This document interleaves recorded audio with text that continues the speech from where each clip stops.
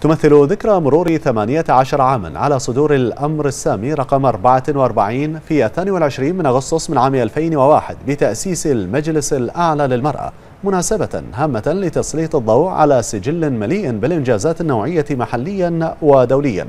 فمنذ تأسيس المجلس برئاسة صاحبة السمو الملكي الأميرة سبيكة بنت إبراهيم الخليفة قرينة عهل البلاد المفدى تمكنت مملكة البحرين من ترسيخ حضورها عالميا كدولة مبادرة ومتمسكة بتنفيذ التزاماتها الوطنية والدولية على صعيد تقدم المرأة.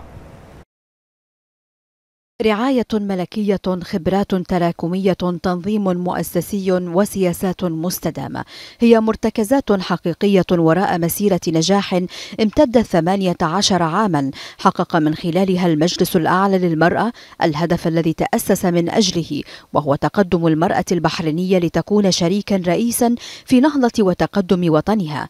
بيانات ودلالات واضحة للعيان حول ما أنجزه المجلس حيث قام بتضمين الخطة الوطنية الوطنية لنهوض المرأة البحرينية والمعتمدة من قبل رأس الدولة في برنامج الحكومة وبلغت نسبة توافق برامجها مع أولويات عمل الحكومة للفترة الحالية ما يقدر بثلاثة وأربعين في المئة. في حين بلغت نسبة توافقها مع رؤية مملكة البحرين الاقتصادية 2030 حوالي 78 في المئة وهو ما يدعم تحقيق هدف الانتقال بالمرأة لتساهم في اقتصاد منتج قادر على المنافسة عالميا.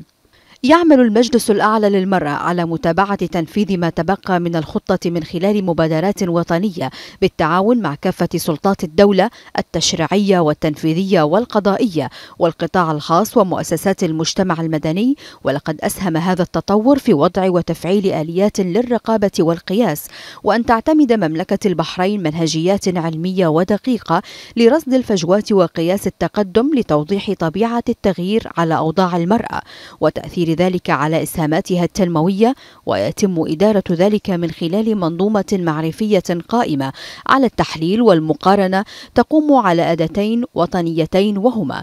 تقرير وطني لقياس التوازن بين الجنسين ومرصد متكامل للمؤشرات الوطنية التي تقيس تنافسية المرأة البحرينية ومقارنة أدائها دوليا وإقليميا ومتابعة تقدمها وطنيا.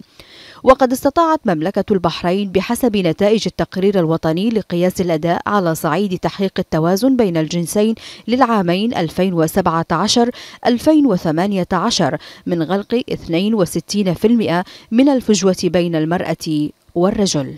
وفي عام 2019 أطلق المجلس الأعلى للمرأة العديد من النشاطات والبرامج النوعية التي من شأنها أن تسهم بشكل إيجابي في إثراء مشاركة المرأة البحرينية كمساهم فاعل في الاقتصاد الوطني بما يتسق مع توجهات مملكة البحرين النابعة. من الرؤية الرحبة لحضرة صاحب الجلالة الملك حمد بن عيسى الخليفة عاهل البلاد المفدى حفظه الله ورعاه والتي كان لها انعكاساتها المؤثرة على التسريع من من وتيرة تقدم المرأة البحرينية كشريك جدير في البناء الوطني.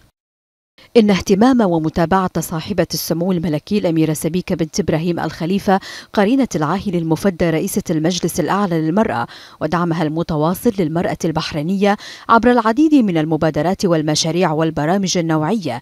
هي محطات مضيئة في مسيرة المجلس بشكل عام وفي تغيير الصورة والمضمون لمشاركة المرأة البحرينية في نهضة وطنها. فالمجتمع اليوم يعتز بنصفه الثاني من جهة والمرأة البحرينية تقدم كل التحايا لسيدة البحرين الأولى تقديرا لجهود سموها في وضع المرأة البحرينية في مراتب ومصاف متقدمة على المستوى المحلي والدولي.